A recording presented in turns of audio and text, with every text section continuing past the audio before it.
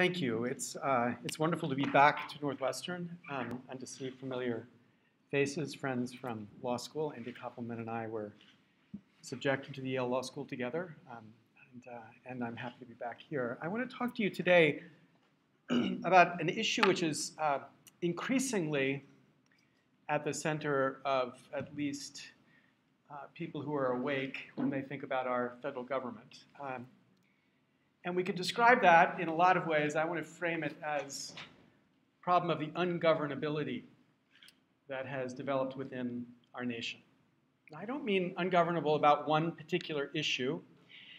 I want to suggest, with respect to any issue, across a, across a wide range of contexts, sensible policy uh, is increasingly impossible to imagine our Congress adopting. Um, whether it's Wall Street regulation or climate change or the debt or taxes or healthcare, um, the country's become ungovernable in a way that I think we cannot ignore, and so we must begin by understanding if we're going to have a sense of how to fix it. Now, to get a sense of what the source of this ungovernability is, I want to point to a familiar collection of essays, um, the Federalist Papers, which were, of course, a brief, the successful brief that made the case for the adoption of our Constitution. And as is our tradition, we've focused our admiration in a couple places, but maybe none more firmly than on Federalist number 10, um, as summarized in the uh, study in the context of the Harvard Law Review, it's difficult to overstate the importance of the theory to today's understanding of the Constitution and American government. They're referring to the theory of our Constitution offered in Federalist 10. And at the core of that theory is an understanding of the problem of faction. And as uh, Madison describes this problem of faction, um, the faction, he says, I understand a number of citizens, whether amounting to a majority or a minority of the whole, who are united and actuated by some common impulse of passion or of interest adverse to the rights of other citizens or to the permanent and aggregate interests of the community. Uh, and he identifies two possible ways to deal with the problem of faction. One, he says, we can deal with by removing its causes, excuse me, we are, make sure that we get to hear this. And, and when you think about the idea of removing the causes of faction, it's not a, a program that many people embrace, because to remove the causes of faction is to remove differences among people. But I was, in, I was intrigued to discover a project eager to remove the causes of faction. Here's a little brief uh, introduction to it. First is an initiative called Mosaic Earth. The mission is very simple. We eliminate debate, and I mean this literally, in any area with any amount of emotionally charged, multi-layered problem that you could imagine. It's a little terrifying, the idea of literally eliminating debate, but that's that project. Uh, that wasn't Madison's project. His objective was not to find a way to make us all the same or to eliminate debate. So instead of focusing on the causes, Madison wanted to think about the effects. Um, and so he had to think about the effects in two different contexts, because as is described, he identifies both a majority and a minority faction. So first, with respect to the minority faction, he says relief is supplied by the Republican principle, which enables the majority to defeat its sinister views by regular vote. It may clog the administration, it may convulse the society, but it will be unable to execute and mask its violence under the forms of the Constitution. And that's very different from the problem presented by the majority faction. When a majority faction is included in a faction, the form of popular government, on the other hand, enables it to sacrifice to its ruling passion or interest both the public good and the right of other citizens, to secure the public good and private rights against the danger of such a faction, and at the same time to preserve the spirit and the form of popular government, is then the great object, object to which our inquiries are directed. And then in the remaining parts of 10 and, and other places throughout the Federalists, we have what I think it was a bunch of hand waving to suggest that there is something in the structure of our Constitution that guarantees we can deal with this problem of this uh, um, majority faction. Uh, and so, as is familiar to many, the structure of our republic, a large republic, provides the infrastructure to guarantee against this idea of a majority faction. So, turning against the tradition, it turns out our vices, namely a large republic, um, are our virtues, namely the means by which a majority faction can be tamed. Now, it's our tradition to celebrate the brilliance in this solution. Uh, many places in the court's uh, jurisprudence where they point to the genius of the framers' pragmatic vision. The only problem is that it was totally wrong. Um, totally wrong to deal with these problems of faction. So, in the context of the uh, majority faction, it wasn't this magical structure of a large extended republic. It turned out to be the Bill of Rights and the way that this got uh, interpreted uh, through the history of our republic. And with respect to the minority faction, the core reality of the modern republic is this is just not solved. We have nothing like a mechanism inside of our system to solve the minority faction problem. The special interest problem is at the core of what I described the ungovernability to be. This part of the project was a total bust. We could give it an F if we were to grade them. The, so the trouble, the puzzle is this or text in our constitutional tradition um, seems not to provide the means by which to understand how this core problem of our current constitution might be addressed. But I want to suggest that if we go back to the Madisonian framing and think less about the part of the story that involved the hand waving and a little bit more about this small phrase by the Republican principle, we can both identify the source of the problem that I think we have today and something of its solution. So that's the introduction. Here's the argument I want to make. Okay, as is familiar to lawyers, this concept of corruption has magical powers vis-a-vis the First Amendment. Because the First Amendment, which otherwise prohibits laws which abridge the freedom of speech, is conditioned, according to our tradition, because if the speech constitutes corruption, then the court said you're allowed to abridge away.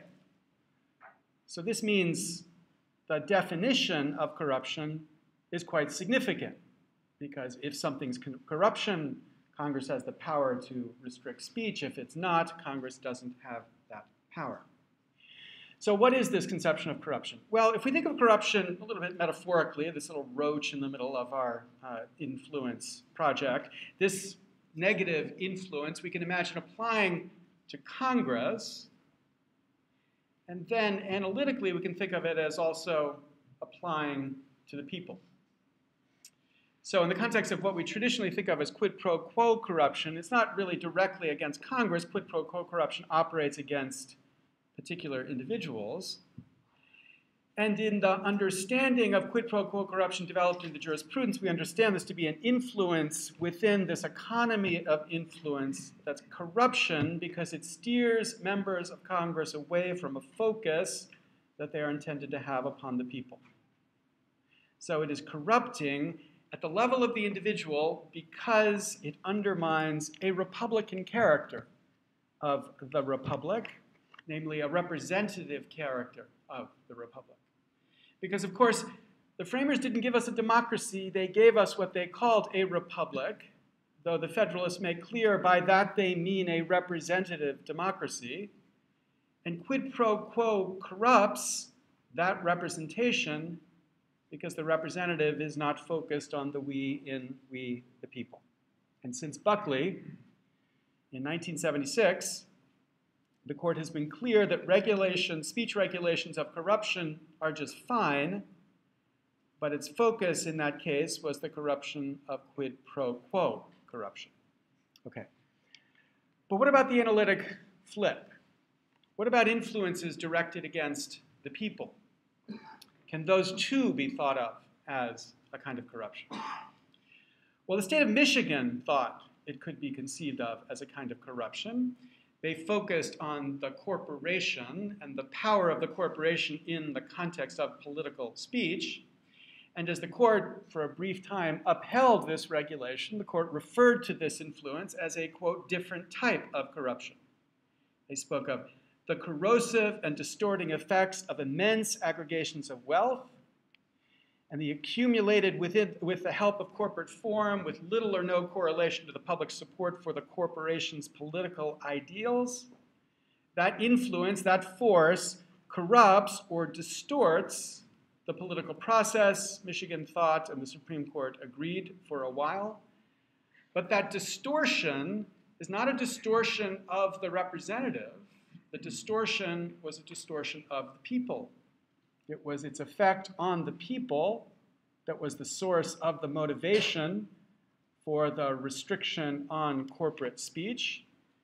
Um, and so, if that was corruption, it was only corruption because of its corrupting of us, the people.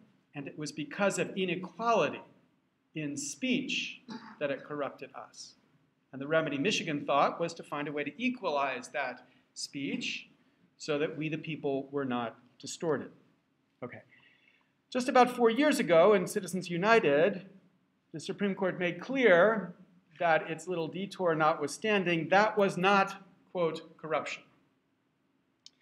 Uh, because one way to understand this is we, the people, can't be corrupted, or at least the distortion of we, the people, can't be seen by the court, or at least, let's say, the state can't remedy it. We, the people, are on our own uh, to take care of ourselves. The First Amendment is interpreted to say there will be no guardian of equality to protect us from the distorting effect of other speech. We have to deal with that distortion ourselves.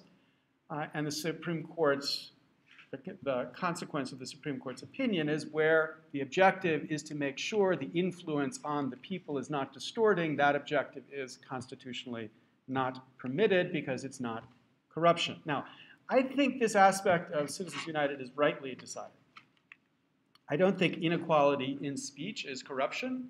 I don't think the distortion of speech should be treated as corruption. I don't think it should be within the scope of Congress or any legislature's power to address. Um, and it would be if we had a different tradition, you know, if we had, for example, Demosthenes as our uh, model where inequality is addressed by dumbing or putting pebbles. Demosthenes had to speak with pebbles because he spoke so well to achieve equality in the speech market. But in this respect, the United States is not Greece, or at least not Greece yet. Um, instead, we embrace a conception that says the effect of the speech is unregulable, where we're talking about its effect on the people. Okay. So the model the court gives us then is if we're worrying about the effect of a corrupting influence on Congress, it's plausible that it is corruption and therefore regulable. But if we're worrying about the effect of speech on the people, it's not plausible that it's corruption and therefore is not regulable. So that begs an important question Is the quid pro quo corruption the only kind of corruption that might be regulable? Is quid pro quo the only, quote, corruption within the field that Congress might address. Okay, now, it's not, it's not news here. Um, there's an important school of constitutional interpretation. Um, we could refer to it as originalism. The objective of originalism is to understand how a particular question uh, would have been understood by the framers. How the framers would have understood the question is at least the first step in understanding how the question would be applied today. So it's not necessarily the end, it's just the beginning. And my work since the beginning of my constitutional scholarship has been work within this tradition of originalism. Um, I was taught at the uh, feet of an important originalist. Um, so I want to take that first question seriously as applied to this term corruption. How would the framers have understood the concept of corruption? Meaning, how would the framers have understood this, as we've seen it, exception to the scope of the First Amendment? Would they have understood corruption to mean quid pro quo corruption alone? Would they have understood it as applying to individuals, or would they have thought of it as it applying to institutions? And if it under, applies to institutions, if it predicates of institutions as well as individuals, then what would it mean? Well, I've been arguing about this for a while and finally wanted to address it in some systematic way. So we hired some researchers who went to um, this source for uh, online um, collections of framing documents. And I asked the researchers to collect every instance of the use of the term corruption within the framing period you know, so the traditional sources, of the Federalist Papers, but as broadly as they could. And we identified from this source 325 um, appropriate uses in the sense of we're really talking about corruption as it applies in the context of um, government uh, that we could code.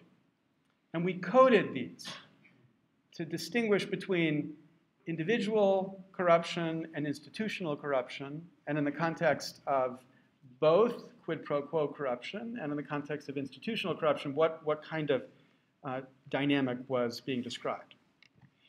Of the 325 instances that we identified, 57% were cases where corruption was predicating of an institution, not an individual.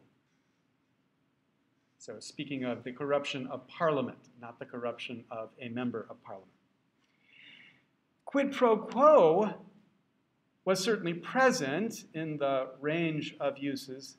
Of the 300, and, uh, 300 some uses, it appeared six times in the context of the population that we were looking at. And in every one of these six instances, by quid pro quo, they were talking about corruption of an individual. So in the balance of the cases, the almost 60% where they're talking about institutions, what was the kind of corruption that they were talking about? And they were talking, describing what we could think of as a kind of improper dependence that had developed for the institution. So, for example, Parliament improperly depended upon the king. That's a corruption of Parliament. And this usage, this frame for understanding what corruption is, was five times more frequent than the reference to quid pro quo corruption. So improper dependence then is a normal way for the framers to be speaking when they speak about corruption. So what would improper dependence in our context look like? Okay. Well, I want to introduce it with a story. I've tried to spread this story broadly, so let me spread it a little bit more here in Chicago. All stories begin something like this. Once upon a time, um, there was a place called Lesterland. All right, so it wasn't in the introduction, it was comprehensive introduction, but I'm glad you didn't mention this. My first name is actually Lester, um, so I'm allowed to make fun of Lesters, so I'm going to make fun of Lesters here a little bit. So here it is, a story of Lesterland. Now, Lesterland looks a lot like the United States. Like the United States, there are about 311 million people in Lesterland. And like the United States, it turns out there are about 144,000 people whose name is Lester. The internet told me that, so it must be true. So let's assume it's 144,000 in the United States and in Lesterland, which means about 0.05% of the population of Lesterland is named Lester. Now, Lesters and Lesterland have an interesting power. There are two elections every election cycle in Lesterland. One of them is the general election. The other is called the Lester election. In the general election, it's the citizens who get to vote, if you're over 18, in some states if you have an ID. In the Lester election, it's the Lesters who get to vote. And here's the catch. To be allowed to run in the general election, you must do extremely well in the Lester election. You don't necessarily have to win, but you must do extremely well. Okay, that's democracy in Lesterland. What can we say about that democracy? Well, we could say, number one, as the Supreme Court said in Citizens United, the people in Lesterland have the ultimate influence over the elected officials, because after all, there is a general election. But it's not hard to see the sense in which that ultimate influence is shrunk because the people have that influence only after the Lesters have had their way with the candidates who wish to run in that general election.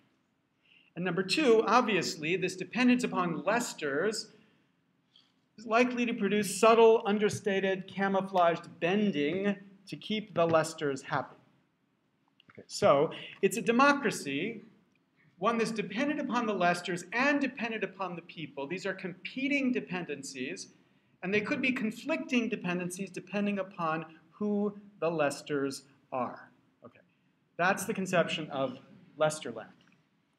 Now, there are three things I want you to see now that I've introduced this allegory of Lesterland. Number one, the United States is Lesterland. The United States is Lesterland. The United States also looks like this, also has two elections. Uh, one election is the voting election. The other election we should call the money election. In the voting election, all citizens get to vote if you're over 18, some states if you have an ID. In the money election, it's the funders of campaigns who get to vote.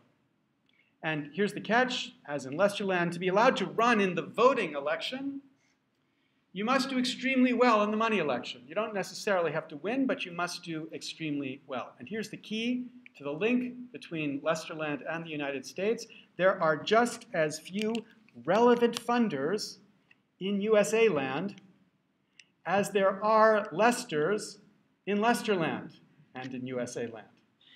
Now you say, really? 0.05%? Well, here are the numbers of, from 2010. 2010, 0.26% of America, I know I'm a lawyer, so I don't do numbers well, but I really mean one quarter of 1% of America gave $200 or more to any congressional candidate. 0.05% gave the maximum amount to any congressional candidate. 0.01%, the 1% of the 1%, gave $10,000 or more. And from 2012, my favorite statistic is 0.000042%. For those of you doing the numbers, you know that's 132 Americans gave 60% of the super PAC money spent in that election cycle. All right, so between 0.26, 0.05, and 0.01, at the most, 0.05% of America are the relevant funders of congressional campaigns. In this sense, these funders are our lesters. Now, what can we say then about democracy in USA land? Well, number one, as in Citizens United, we can say the court was right to say the people have the ultimate influence over elected officials, because of course there is a voting election, but only after the funders have had their way with the candidates who wish to run in that general election. And number two, obviously, this dependence upon the funders is going to produce a subtle, understated, camouflaged bending to keep the funders happy. Members of Congress and candidates for Congress spend anywhere between 30 and 70 percent of their time raising money to get back to Congress. And the question we need to think about is what does it do to them as they spend their time dialing for dollars from the tiniest fraction of the 1% of America? As they do this, they develop, remember this image of the Skinner box, they become the modern version of the Skinner boxes. They learn which buttons they need to push in order to get the sustenance that they need and it doesn't take a PhD in psychology to recognize that this life produces in them a kind of sixth sense, a constant awareness about how what they do will affect their ability to raise money. They become, in the words of the X Files, shapeshifters as they constantly adjust their views in light of what they know will help them to raise money, not on issues 1 to 10, but on issues 11 to 1,000. Leslie Byrne, a Democrat from Virginia, describes that when she went to Congress, she was told by a colleague, quote, always lean to the green. And to clarify, she went on, he was not an environmentalist. right? So here too, we have a democracy, one dependent upon the funders and dependent upon the people. These are competing dependencies, maybe conflicting dependencies, depending upon who the funders are.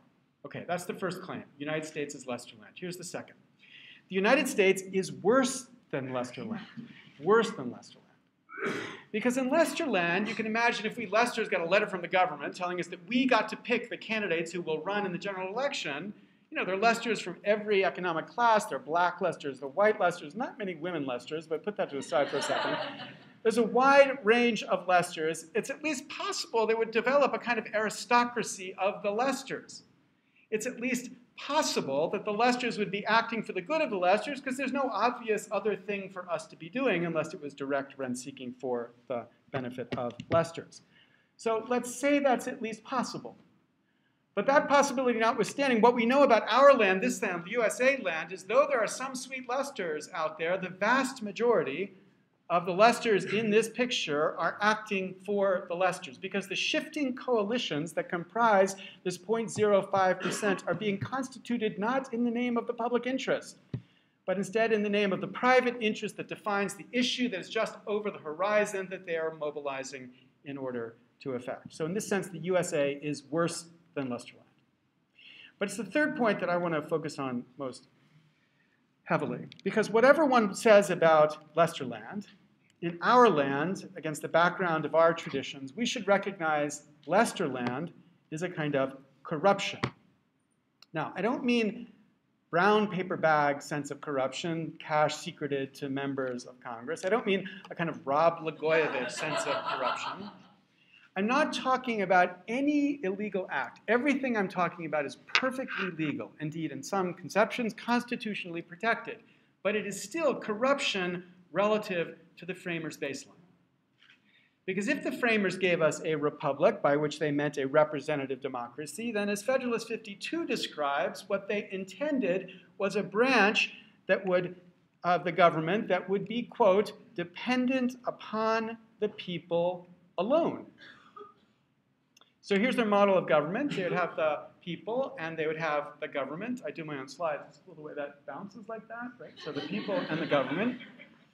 Creating this dependency, how would this exclusive dependency be produced? Well, it'd be produced through these discrete elections every two years. As Madison wrote, frequent elections are unquestionably the only policy by which this dependence and sympathy can be effectually secured. So the people and the government produces this dependency, which is the core of how this part of our representative democracy shall function. The problem is our Congress has evolved a different dependence. Not a dependence upon the people alone, but a dependence as well upon the funders. This is a dependence too, but it is different and conflicting from a dependence upon the people alone so long as the funders are not the people.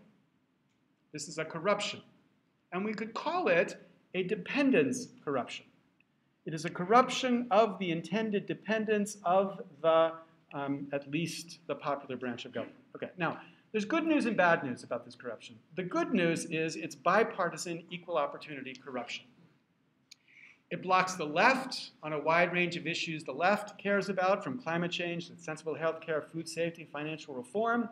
It blocks the right too. So, for example, people on the right are eager to push for a smaller government. Um, Al Gore, when he was vice president, had an idea to deregulate a significant part of the telecommunications industry. His chief lobbyist on the policy took the idea to Capitol Hill. The response he got from Capitol Hill, as he reported it back to me, was, quote, hell no. If we deregulate these guys, how are we going to raise money from them? So the point is, the structure of regulation makes it easier to raise money.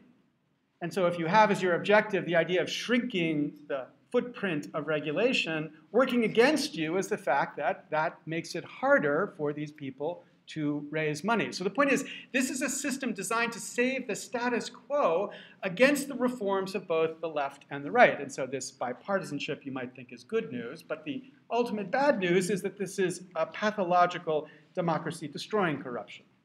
Because in any system where such a tiny, tiny fraction has the capacity to influence, that means that the tiniest number, a really, really tiny number of this tiny fraction has the ability to block reform.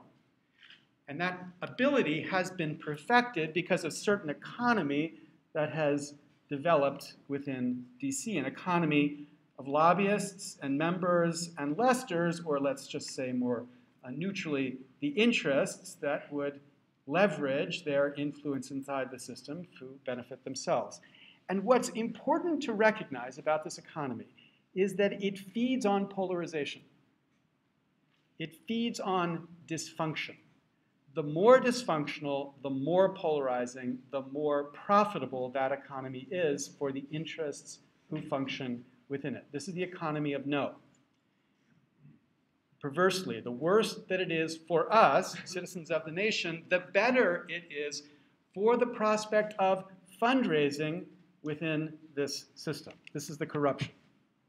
Okay, but is this a corruption that the Supreme Court could see? Would the Supreme Court recognize this? Could the Supreme Court recognize this as corruption against the background of the jurisprudence they've developed so far? Well, notice this is not an instance of influence trying to distort the people. This improper dependence is not a dependence that is a dependence that the people feel. This is a dependence that is affecting the government. So it fits within the structure of the kind of corruption the court has permitted Congress to regulate. It's not a corruption of the people, it's a corruption of representation. Like quid pro quo corruption, the focus is not about how to change the people, the focus is not upon the people alone, the focus is upon the funders. And in my view, it should be a kind of corruption that Congress can regulate because its target is the way in which influences might be affecting the representative process. Now, how could this matter to the jurisprudence of the court if, in fact, the court were to recognize this kind of dependence corruption as the sort of corruption a legislature can address? Well, the first thing to recognize is it would not affect Citizens United because the regulation of Citizens United was a regulation targeted uh, of speech uh, for the people. The issue in Citizens United was Citizens United spending its corporate funds to promote a film, the objective of which was to change how people viewed Hillary Clinton. In my view, that speech should be constitutionally protected. There should be no doubt that the First Amendment prohibits any effort by Citizens United or any corporation or any individual to spend its money to change the views of the people. So its target was the people, and I think that's what defines it as constitutionally protected. Um, next, uh, in two weeks, the Supreme Court will hear arguments, in this case, McCutcheon versus the FEC, which raises the question of whether the aggregate contribution limits are constitutional. And this has been a question pressed because if the um, individual contribution limits, so $2,500 each election cycle, are constitutionally per permitted, if the individual limits don't constitute quid pro quo corruption, then why would aggregating the individual contributions constitute quid pro quo corruption? And in my view, that's a very fair question. If the only framework is quid pro quo corruption, I don't see how the aggregation could affect quid pro quo corruption. But from the perspective of dependence corruption, there's no reason why the limit, the aggregate limit, couldn't be upheld. Because what the aggregate limit addresses is not the quid pro quo. The aggregate limit is addressing precisely the issue I've described as dependence corruption. You're trying to avoid a world where Congress looks to a thousand families to fund the campaigns and instead tries to force Congress to raise its money from a wider range of Americans, therefore minimizing the sense of dependence corruption. The most important shift, though, recognizing dependence corruption would produce, is a shift that came out of the case uh, Speech Now um, versus the FEC. Speech Now is the case that gave us the super PAC, a case decided by the DC Circuit. The Supreme Court did not review this case. Now, it's not the super PAC's desire to speak to the people that could be affected by recognizing dependence corruption. Because again, I view, I think that the Supreme Court's jurisprudence says that when you're talking about the effect of speech on the people, it's constitutionally unregulable. But there is a dynamic of the super PAC that affects Congress directly. And we can think about this as the super PAC dynamic. That's Tony Soprano, if um, people don't quite recognize it. The suggestion here should be obvious. And it was explained to me in the context of a, a television show I was participating in um, with uh, Senator Bayh. Senator Bayh was asked by someone um, what the effect of super PACs was on Congress. Because the claim of the questioner was that there was no evidence, empirical evidence, that these were changing legislative results at all, so why should we be worried about super PACs? And he kind of rolled his eyes and he said, You have no idea about how this has changed the way Washington works. He said, It used to be the case that if you were an incumbent, you had nothing to worry about. As long as you didn't sleep with your interns, um, you were guaranteed um, reelection so long as that's what you were interested in. But now every single incumbent is worried that 30 days before an election, some super PAC is going to come in and drop a million dollars on the other side. So understanding that as the threat, what do you do as an incumbent? And what he said, translated just a bit, is you have to buy super PAC insurance. So what's super PAC insurance? It's the guarantee that if somebody comes in and drops a bomb on one side, your super PAC is going to come in and buy enough to drop a bomb on the other side to balance it out. So how do you buy super PAC insurance? Well, like with any insurance policy, you have to pay your premium in advance. Pay your premium in advance. And how do you pay your premium in advance? You behave in a way that the super PAC on your side wants you to behave so that when it comes time for them to defend you, they have a reason to defend you. So, Senator, we'd like to help you, but we can only support people who support us at 80% of our scorecard. You know what you need to do in order to assure yourself of the defense you need if, in fact, you need a defense. So, the point is, without spending $1, this dynamic creates the incentives for members to begin to focus their attention in the direction of these super PACs, it is the economy of a protection racket as people are investing to protect themselves against this ultimate threat. And so the idea is this is the way the super PACs are directly affecting the representation process. And the constitutional question that would be raised is not the spending of the super PACs on the public, but the ways in which this funding of the super PACs might be affecting uh, representation. So in my view, this is the kind of corruption our framers could see. They could see this because we're talking about influences that are undermining the representative function in the way in which representatives go about doing the job of at least being dependent upon the people alone. Okay, now this should be obvious, but this corruption has had an effect. And the particular effect I want to focus on is the way in which it helps to render us ungovernable. And it renders us ungovernable because of the economy it develops. This economy contributes to this ungovernability, and it contributes in two ways. The first I've already alluded to, this is the economy of no. And the second I want to talk about as the economy of extortion. So the economy of no is the more obvious one. You have a tiny fraction who have the capacity to block any change. And almost always, we can say, they have the capacity to stop any reform, which produces a certain kind of instability. And this instability then is the sense in which this polar, the economy depends upon this polarization and dysfunction. Dysfunction becomes the business model because dysfunction makes it easier for those who need to trade to facilitate a trade that is valuable to at least some within the economy. This piece in The Nation which described um, uh, this dynamic and then actually pointed to a website of a lobbying firm which was bragging about their ability to use the particular tools inside of the Senate to facilitate the blocking of any change that you might want to block. Of course, once this article went down, up the uh, web page came down. But the point is the obvious economy here now is we now leverage these holds or these filibusters in a way that makes it so you can achieve the rent seeking you're seeking, which is now the rent seeking of blocking reform that might undermine your monopoly rent. So with this economy, you can think of a wide range of cases, whether it's healthcare reform on the left, or government bailouts on the right, or global warming for the left, or complex taxes for the right, or financial reform for the left, or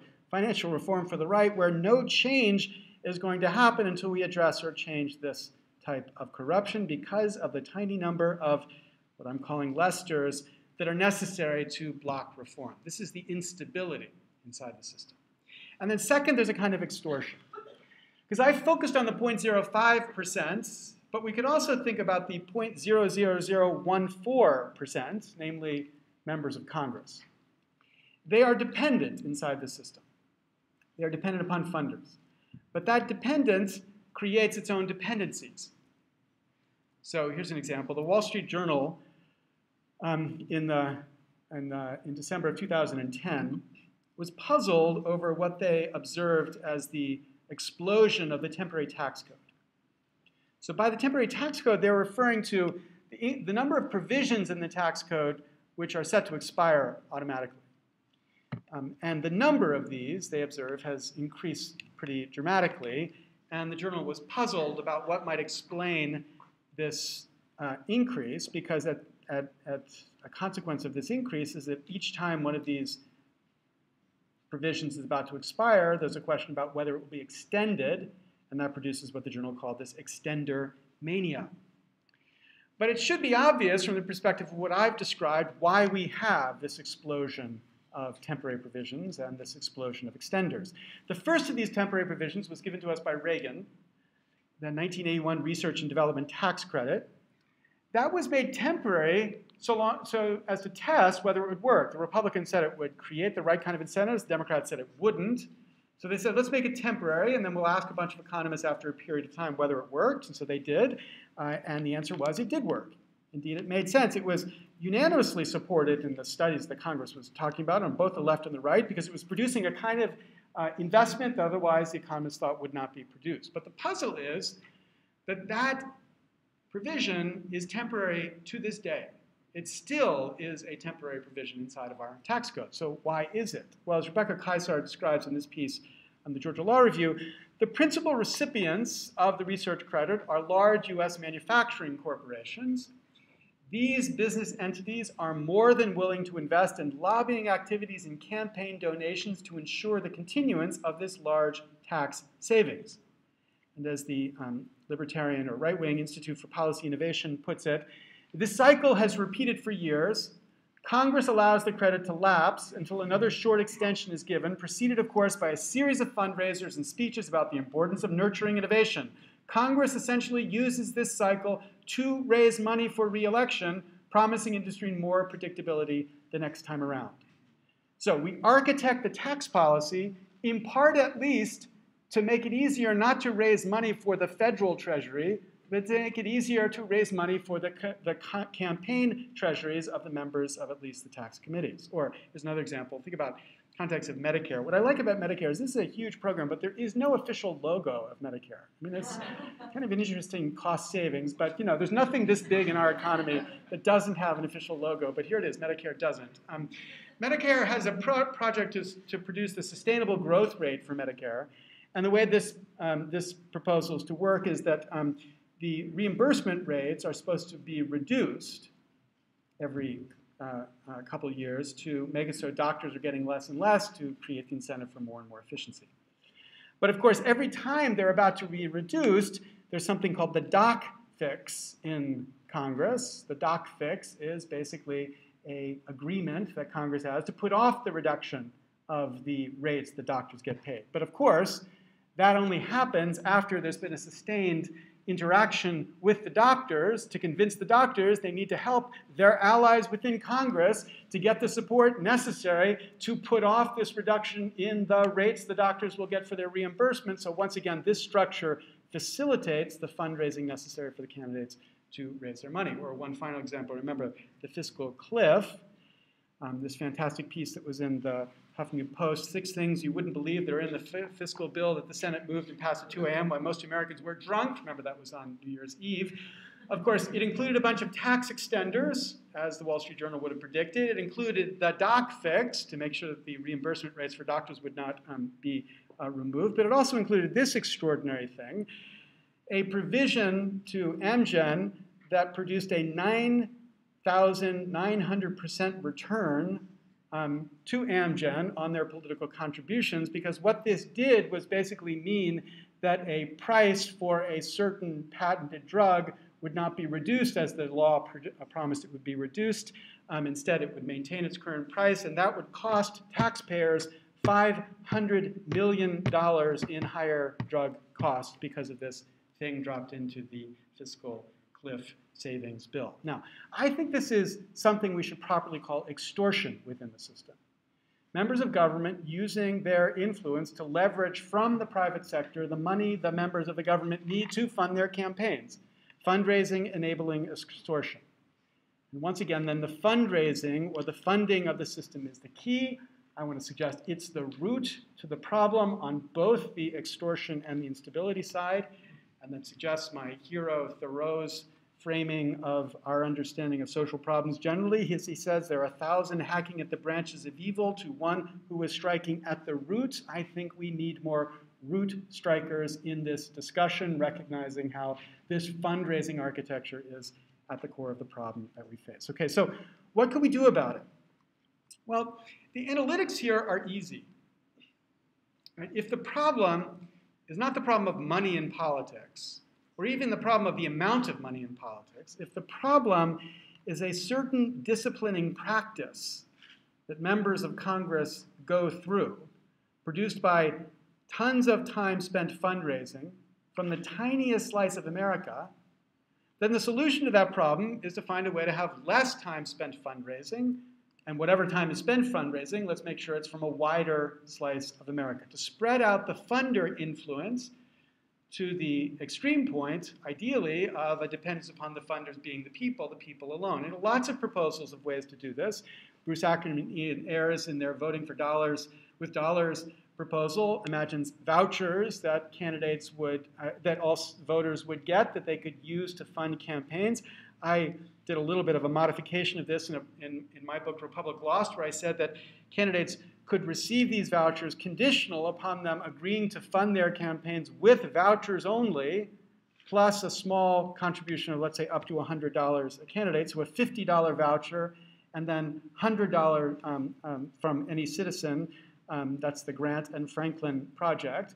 But $50 vouchers to every voter would produce $7 billion in the system, which is three times the amount raised and spent in 2010.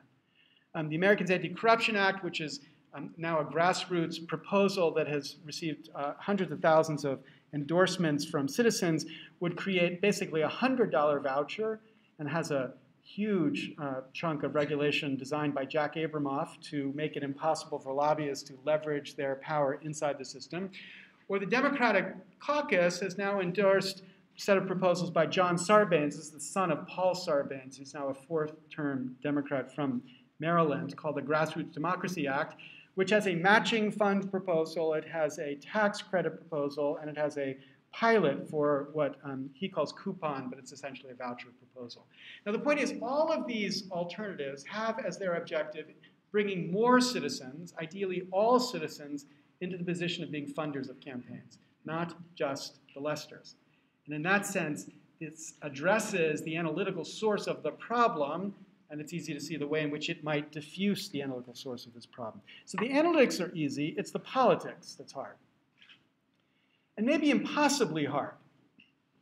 Because the reform described here would effectively shrink the power of K Street, K Street where the lobbyists work, wouldn't make lobbying unnecessary. Lobbying continues to be important and essential inside the democracy, but it radically shrinks the power of the lobbyists.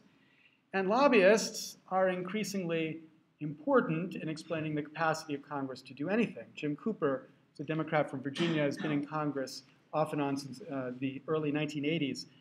Says you have to, he explained to me, he says you have to understand Capitol Hill has become a kind of farm league for K Street, a farm league for K Street. What he means by that is members and staffers and bureaucrats have an increasingly common business model, a business model focused on their life after government, their life as lobbyists. Right, so Public Citizen calculated between 1998 and 2004, 50% of the Senate left to become lobbyists, 42% of the House. Those numbers have only gone up. And as United Republic calculated in April last year for the members, they tracked the average salary increase for the members that they had tracked who went to become lobbyists was 1,452%. So in a system where everybody inside the Beltway depends upon this system surviving, it's fair to ask, how is it possible to imagine them changing this system? And the answer is, in all honesty, I'm not sure it is possible. I'm not sure it's actually feasible that our political system has the capacity to address this corruption. But a first step, I think, is to at least see how the corruption that I'm describing here is at least a corruption that the court must allow uh, to be remedied. Or even if it's not going to allow it, even if it's not going to allow the egalitarian conception of corruption, which I also don't endorse as a conception of corruption, they should at least address or permit remedies to what I've called dependence corruption, or to make it sharper for the originalist. Should be easy for the originalist to permit what I've called dependence corruption as a justification for Congress's regulation, because to make it as sharply as I can for the originalist, only a non originalist would have the intellectual structure to limit corruption to quid pro quo corruption alone. Because an originalist should understand that in addition to quid pro quo corruption, there were these other conceptions of corruption, and the closest and most prominent was dependence. Uh, in a, uh, I'm sorry, was um, improper dependence, and dependence corruption is an instance of improper dependence. Okay.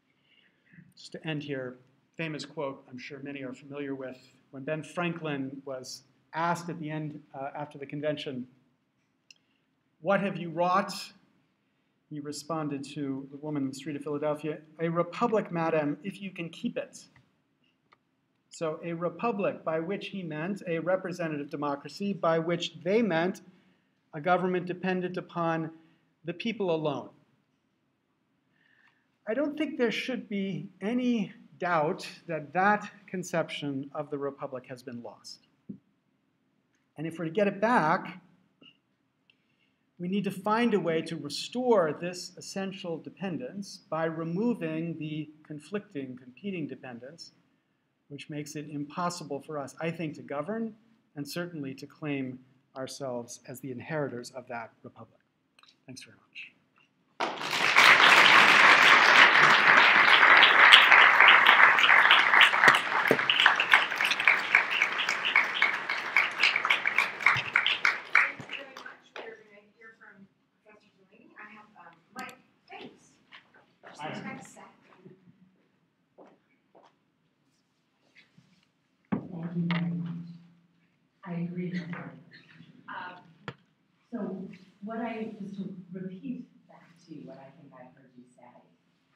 opened with an, an ethical mode of constitutional interpretation based also on the framers arguing that corruption should be understood in part as dependence.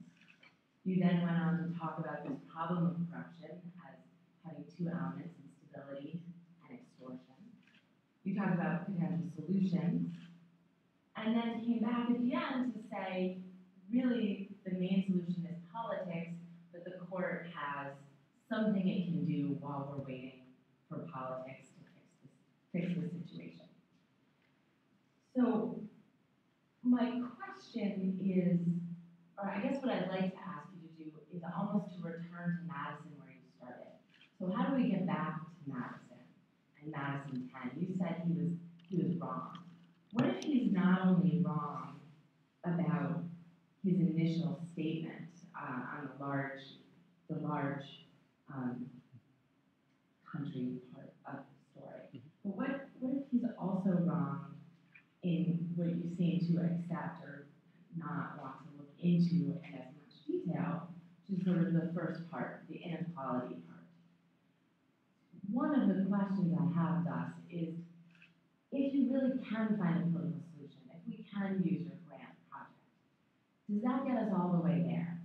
Because most of Congress, or many more than a majority are already millionaires. They're functioning in an environment where there is an influence, an economy of influence that is quite apart from and addition to the super PACs you're talking about. And if we give in on income inequality and we give in on some of these other issues that underlie the power dynamic that exists, are we only getting halfway there? Can Madison also be wrong when he says and can that, that this sort of causes of faction can't be eradicated. Maybe one cause needs to be looked at more intently. Yeah, So that's a great question. Um, and, and here, let me just give you a, a map of how I'm going to respond to every question like. Every single problem you identify, I'm going to show you how, in fact, the root is the corruption I've described. So you want to talk about the inequality problem. Uh, I'm sure many people are familiar with um, the Hacker and Pierson book, um, Winner Take All Politics, which has this wonderful synthesis of research demonstrating the way in which the United States has you know, hit a kind of inflection point in producing radical increase in inequality. Um, this nice framing. Um, so imagine the difference between a place called um, is it Broad, Richistan and Broadland. So Broadland is a country where everybody's getting rich, not uh, better off, not necessarily at the same rates, but everybody's kind of getting better off. Um, and Richistan is a country where only the very rich are getting better off. Everybody else is staying at the same place. And, and their frame is that the United States was broadland until about the middle of the 1970s, and then became Richistan. since the beginning, since the middle of the 1970s, we've had this radical increase in inequality. But the most important part of their book, from my perspective, is their account of why this inequality was produced. And their account was it was a series of changes in governmental policy that bring about the influences that produce this radical increase in inequality. And if it's a series of changes in governmental policy, then it opens up for me to say, well, what's influencing the series of changes in governmental policy? It's the way in which we're funding these campaigns. Now, it's a little bit more, there's more to the politics of this. Um, you know, I think there's uh, two changes you could think of as exogenous to this. One is the cost of campaigns are going up dramatically as technology makes it so every congressperson thinks they has to have an you know, evening tracking poll to figure out what people are thinking about that congress. So the cost of campaigns is going up dramatically. And in the, middle, in the 1990s, the political parties become um, super competitive. So when Gingrich takes over the House in 1995, it's the first time the Republicans, the Republicans have controlled the House in 40 years. And every single election from 1995 on is an election for the control of Congress. Um, and so, as corporate scholars would say, there's a kind of a control premium every single election, and the control premium in a world where rent seeking is common is very valuable. So, every single election, you have both parties furiously trying to regain control of Congress, and in doing that, they have to raise tons and tons of money to be able to win the elections, and in raising the money, they spend their time talking to people who want to fund them, they spend their time talking to the lesters. Now, that life, raising money, filters out certain kind of people from being Congress, Congress members of Congress. So when my, I started doing this work in, in uh, 2007, my congressman, who was at the time was Tom Lantos, died, and people tried to recruit me to run for Congress. And said, you know, you want to reform the system, go to the system and reform.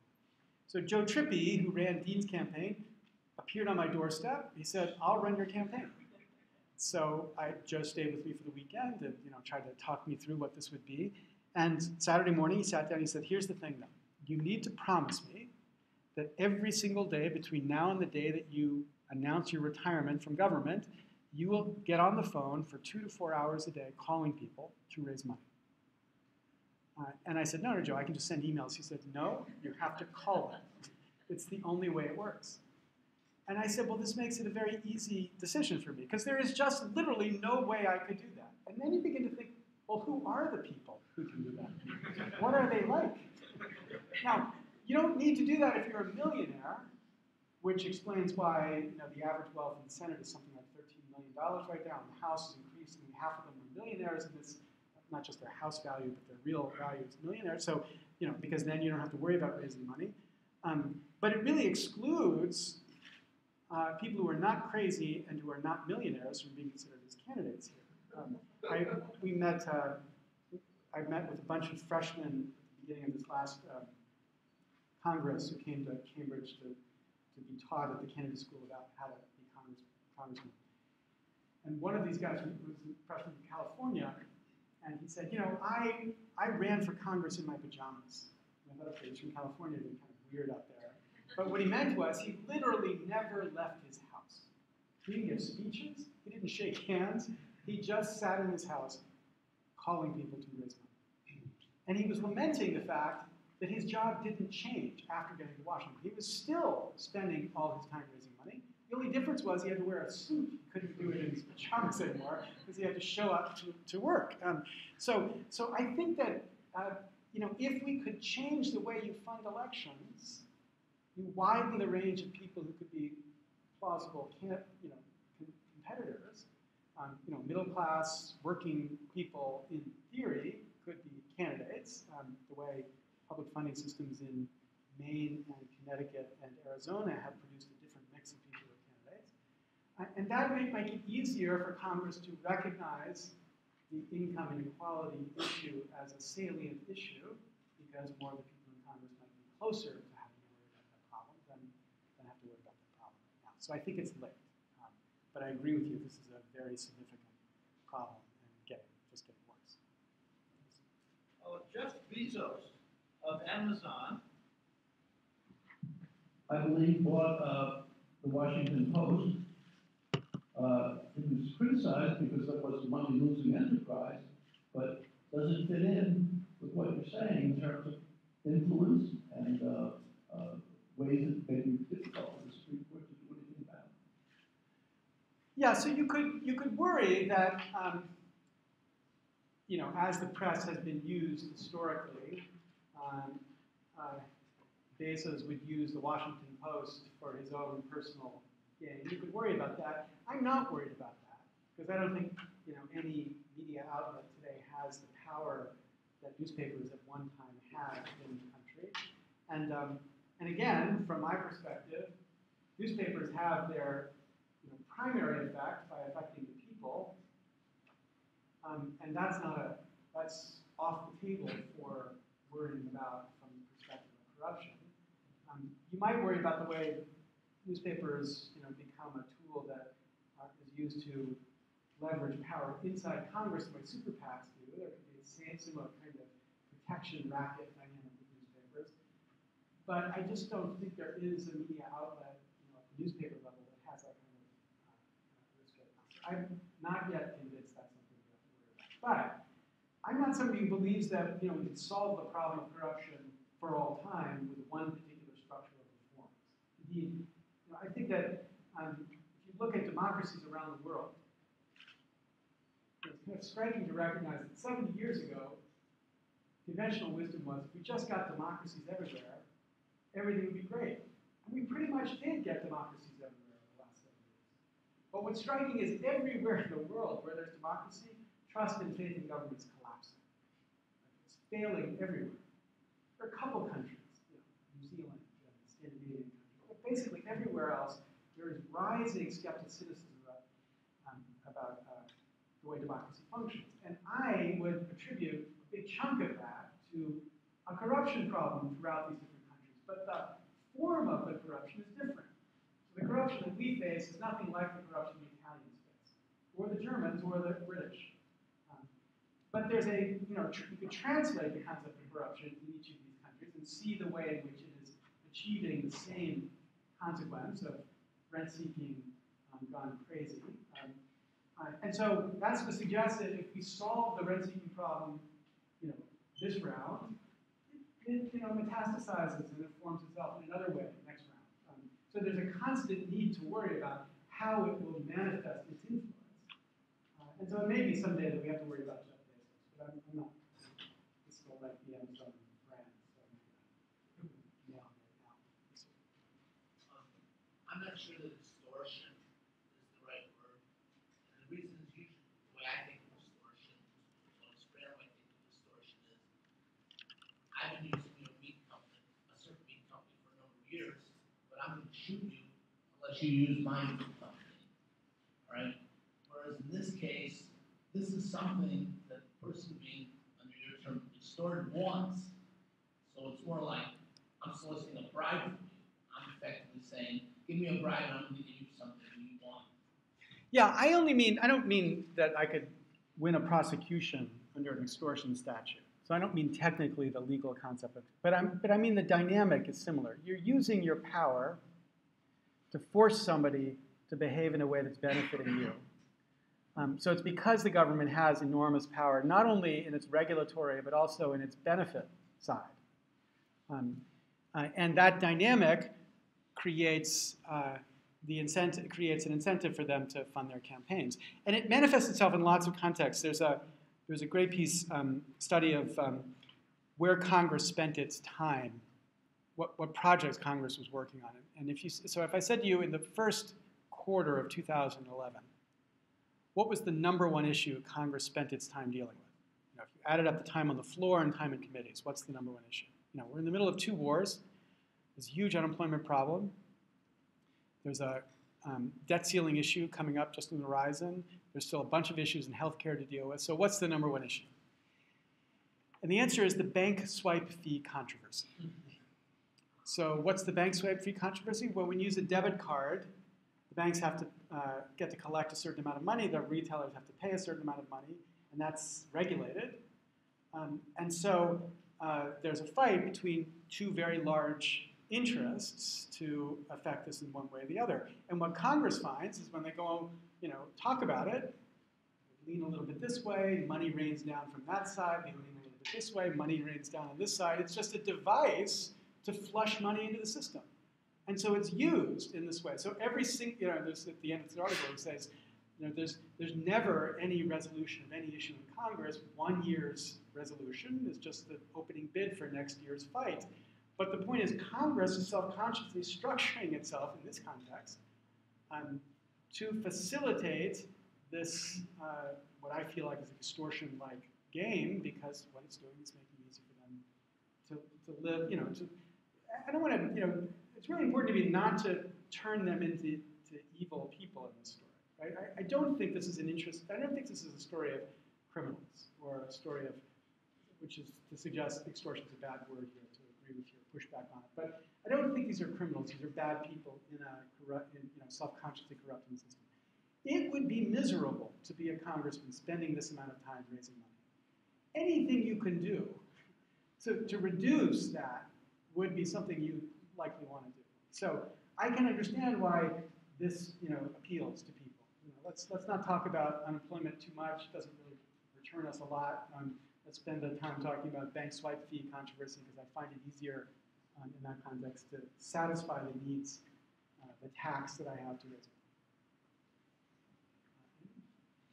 So, uh, a couple of things. Uh, I, I'm having trouble getting my mind around the, I'm having trouble getting my mind around the core analytic concept of uh, corruption here. It seems to be a state of affairs in which the office holders are not dependent on the people alone. And it seems to me that the terms there are so contestable in their application, that it's very hard to tell what uh, work that idea is doing. Now, the substantive account of what's going on conspicuously stinks, and it stinks across a huge range of possible descriptions of corruption.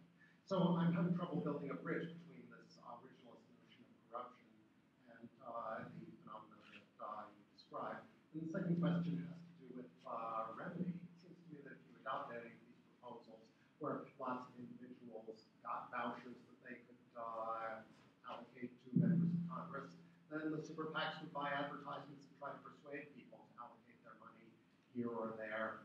Uh, people would still be vulnerable to super PAC spending in the last month of the election. I'm not sure how this would help. Okay, so first with respect to what work the concept does. Um, first remember, you know, if there's a target for this argument, it's the five justices who call themselves originalists, who are marching down a path to a position where they say the only conception of corruption that is constitutionally permissible is quid pro quo. So my response to them is, you can't, as an originalist, say that. You have to be open to other conceptions of corruption. Here's another, dependence corruption, but the point is you can't say quid pro quo is the only one. Now, now, you know, what that does by just doing that is to say, well, if your regulation is plausibly an instance of, of attacking dependence corruption, then you've got to be able to uphold it. It's got to be the kind of corruption that is permissible under the scheme.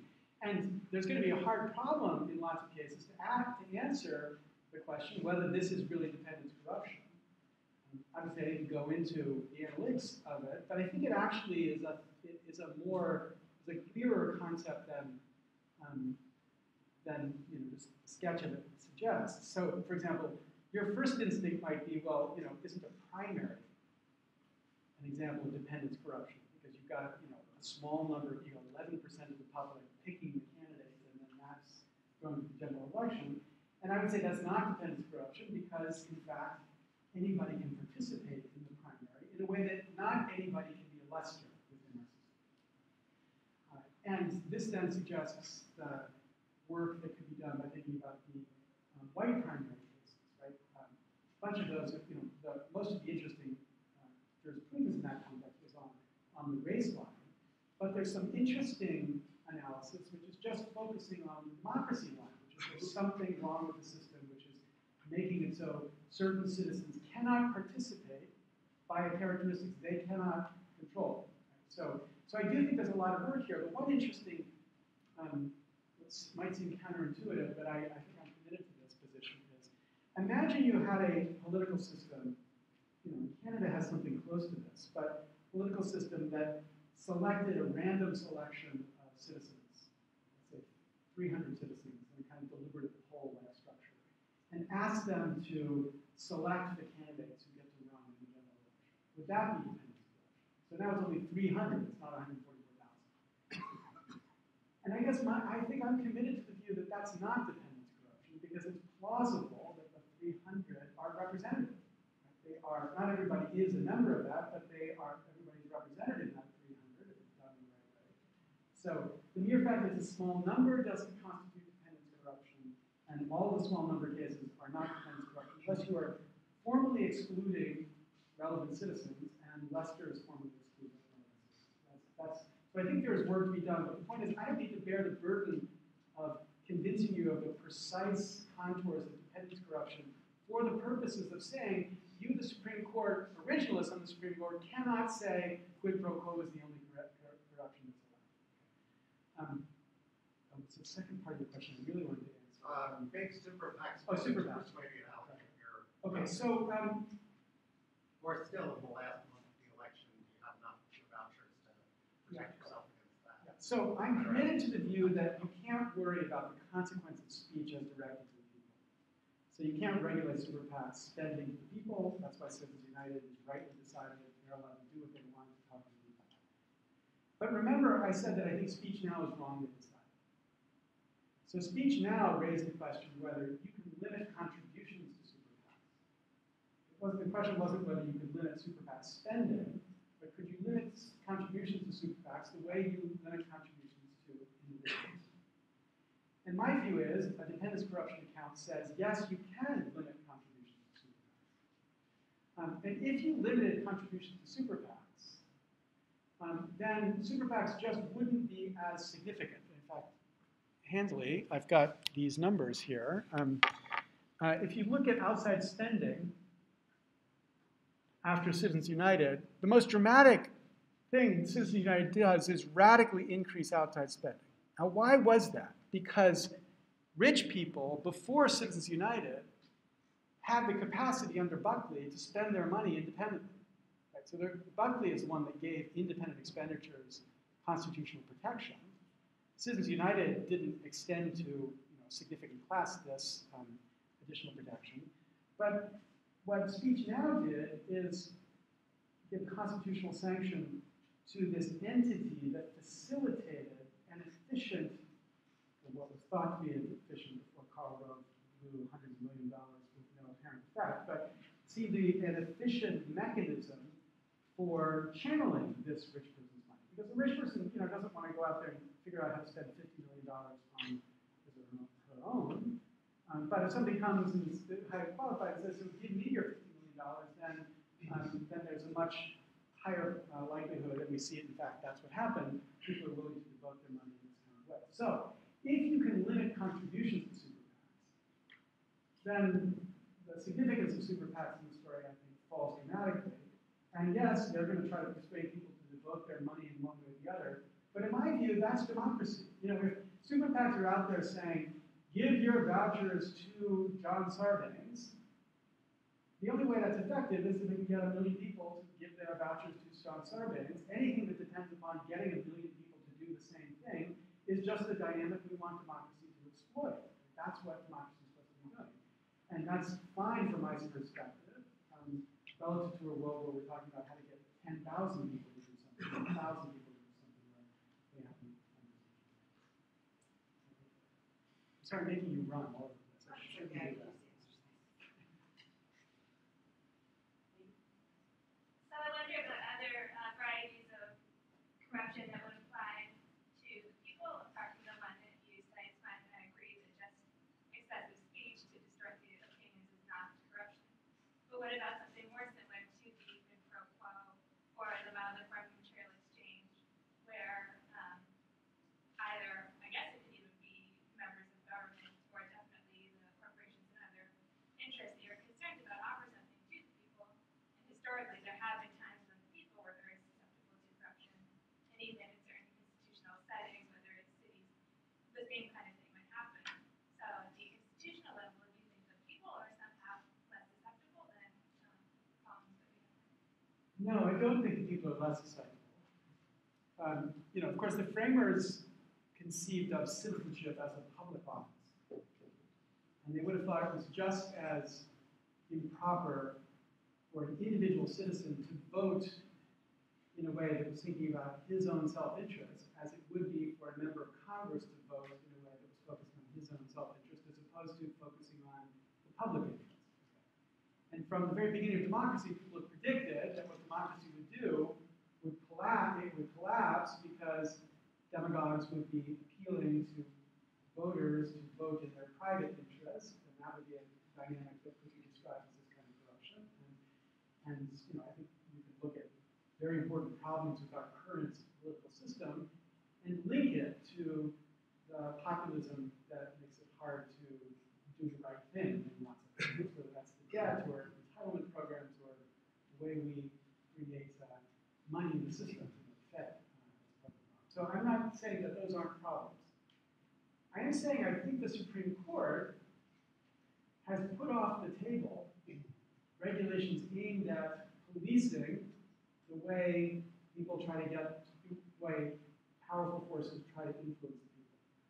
I think the court has basically said government doesn't have the right to muck about in the name of fear about the distorting effects, the way in which the people are persuaded. Now, you can disagree with that. I'm not saying I'm not, you know, saying it's necessarily a good thing, but I'm offering as a way of understanding where it's absolutely clear that the First Amendment is going to prohibit regulation. It's prohibiting regulation clearly where the regulation is trying to affect the way in which the people are being um, uh, manipulated, use that word, but it's not, um, uh, and that might mean that we're, we're vulnerable to the kind of corruption you're talking about in a very significant way. But I still think it's distinct and, the present time, less significant kind of corruption than the corruption that, that comes from inside,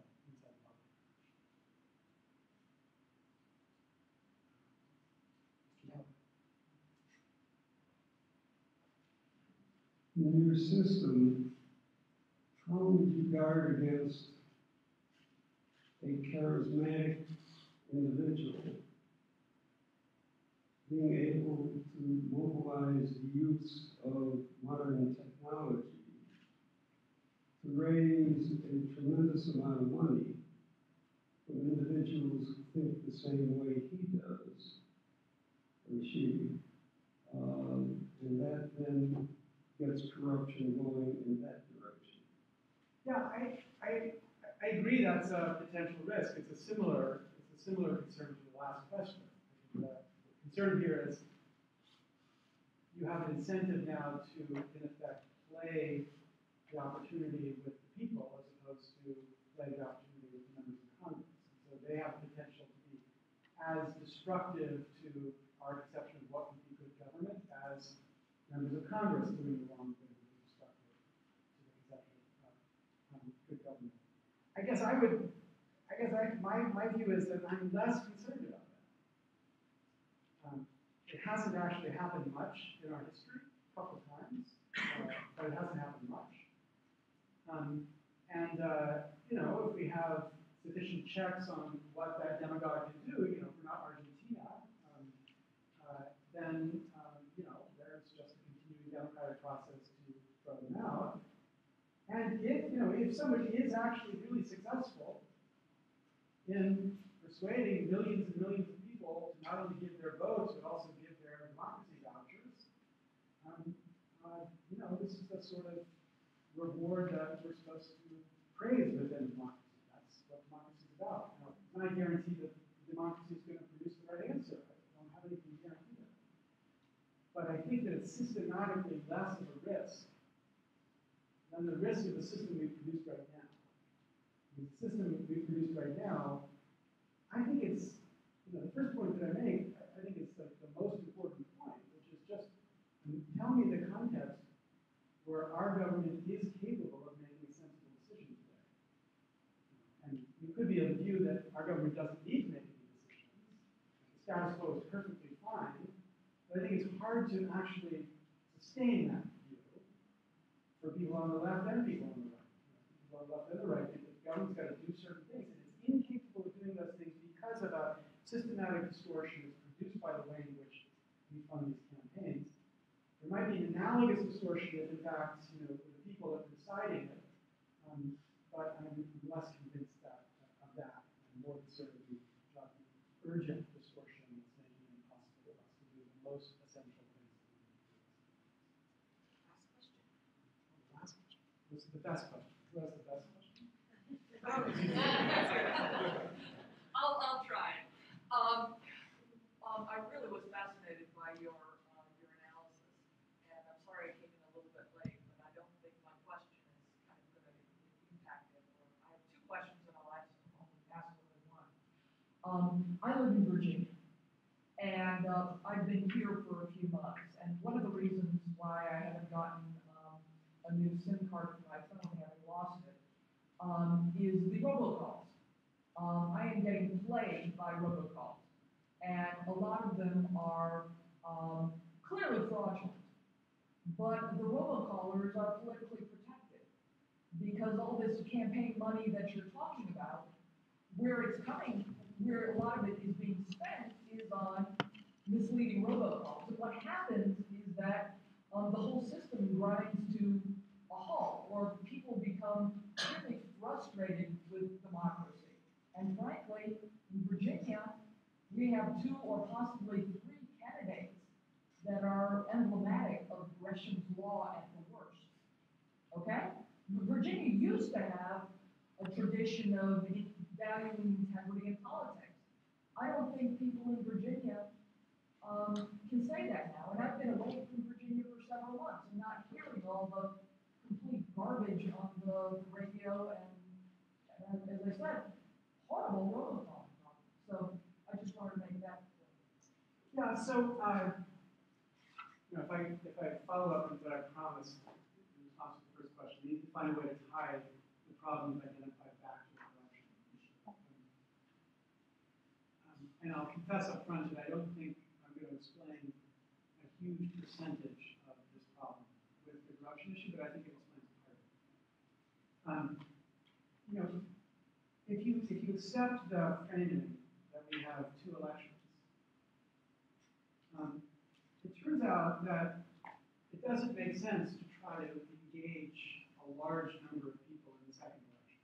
In fact, the system works better for people on the inside if we can have relatively stable subsets of the voting population participating and a huge part not participating. If we had the Australian rule where everybody had to show up to the polls, that would have a pretty significant effect on what you said because you would need to, if that tied to gerrymandering reform, you need to play a very different kind of campaign. Because a whole bunch of people are going to be out there who are going to be upset with the way you've spoken, your extreme left wing or extreme right wing speech, and therefore will be punished. Um, and so people don't engage, and I think that's not a criticism of people. I think in our system, it doesn't make sense for many people to engage. Like, why would you waste your time? In a world where the Lesters have the power the Lesters have, um, and you've got a job or two jobs or kids or a hobby or a life, why would you engage? Um, And what we know from political science is, in fact, going down the economic um, scales, um, there's less and less engagement at not just the contribution level, but also the voting level and the volunteering level every other level. Rationally disengaging seems to me to be perfectly sensible. Um, it's the same thing with the, so that, that has this high robocalling. Um, you know, politi- the political machines are pretty smart. They, they know who they're trying to talk to. And if you're upset, they're not trying to talk to you. If you're being bothered by it, you're not the target. And so um, they're happy you're, you're, I mean, not happy you're upset, but they don't care that you're upset because their objective is to reach a certain entity or a certain population. And presumably, if they're sensible, they're reaching the population without upsetting them. And we just live in a world where it's hard to segment right now. It's increasingly easy to segment relative to where it was before, but it's still hard to segment. And you can see some of this. There's a, I did a, a little piece about um, report at the beginning of October 2012 on NPR, which was a um, uh, an account of Romney and Obama's um, uh, economic program. And uh, there's stump speech, so economic speech. And each of them had five points. And they were practically identical. They each began with, this is the most important election that you're going to face, fundamentally affect the economy. But you went through each of these five points, on four of the five, they were literally identical, and the fifth, there was slight difference between them. And, you know, what's this about? And what it's about is that they're both looking at the same data, they're both identifying exactly the same class they have to have an effect in swinging, and so the campaign shifts to focus on exactly how they persuade that person, and for, you know, all of us, we don't care, we, we're, we're, not, that, we're not the target. Um, so I think that if we found a different way to structure the incentive um, you change the behavior. And what I'm trying to do is increase the number of people who you need to persuade as a candidate in the funding election. And I think the unintended but nice byproduct of that is that you would also increase the number of people you're trying to persuade in the voting election. Because at a $50 voucher, you need to persuade a lot of people to give you money.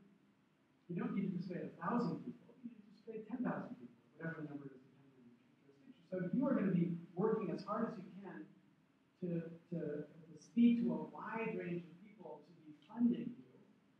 Um, and that, I think, has the effect of including more people, bringing more people into the political process um, uh, than are involved right now. So one thing that Obama campaign taught us is small contributions, even of tokens, bring people into the political process in a more committed way um, than if they're not contributing. Um, so that would be my Well, I want to make, I just want to make sure that I keep my commitment to ending on time. Oh, but as you started on time. Thankfully, uh, yes, but thankfully, we have a lovely reception to which everyone is invited in addition to food and drink. You may pick up your copy, your copy of the US Constitution provided by, uh, Jack Miller Center. And so, and we can keep this conversation going for a little while. Thank you very much.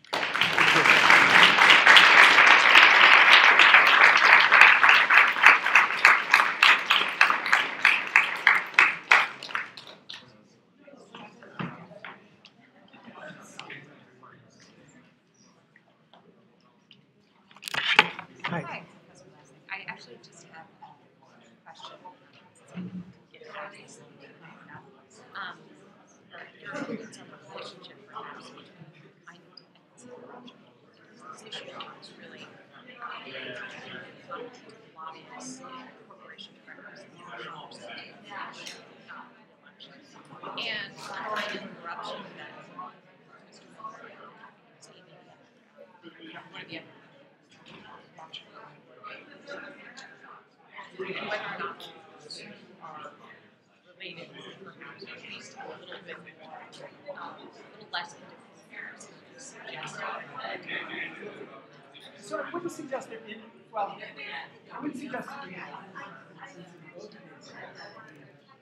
politician appealing to to a. So if you're appealing to hundred thousand residents um, a then, that produces the kind of corruption. But if you've got to appeal to ten million, then you're gonna have a different. All that I was saying is that I'm just less convinced that mechanism is effective in kind of standard. I guess my, um, my thought is perhaps that, you know, corruption in, in the electorate is Democrat. In fact, effective It allows the other sort of corruption to itself statements, right?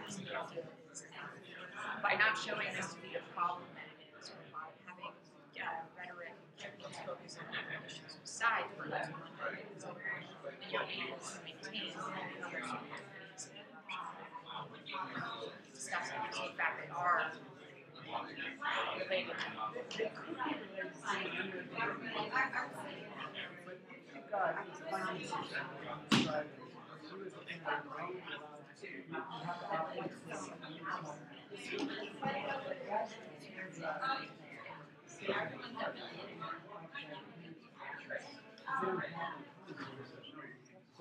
Yeah, he's right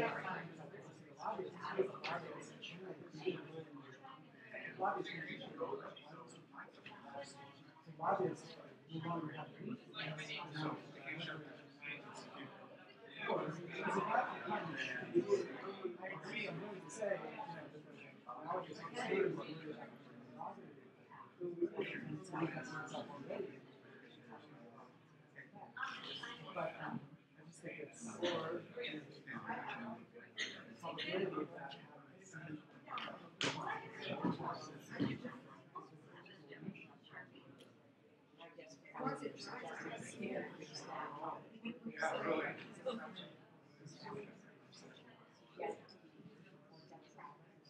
Yes, and then we have to worry about this other problem. But that's that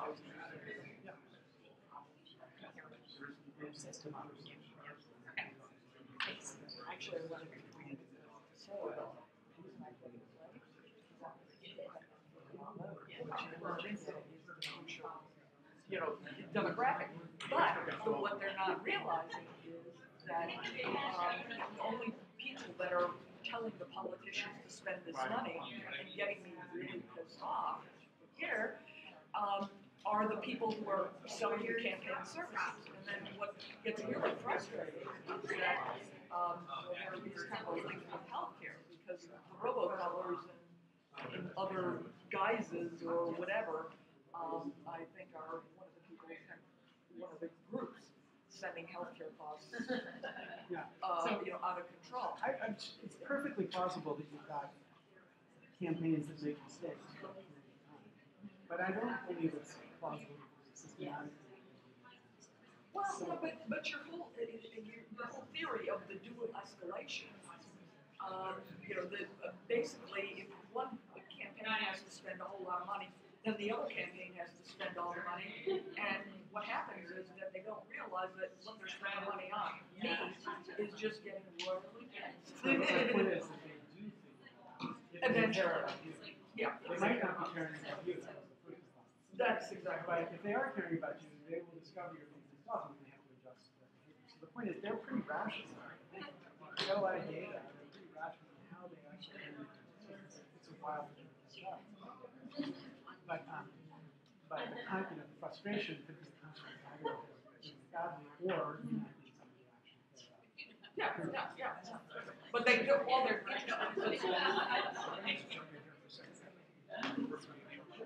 right over here, beautiful painting behind us. And I'm gonna, I'm gonna do this like two, three times.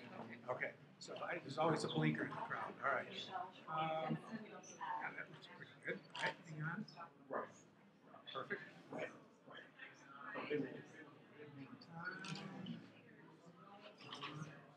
Actually, could you just move a little bit? This way? Yeah, a little. Yeah. You can move that way, perfect. A little this way. There we go. Ah, Now we have the picture. All right, great. Perfect. Looks great. One more time here. Voila. Are you breathing? Is it Okay, good.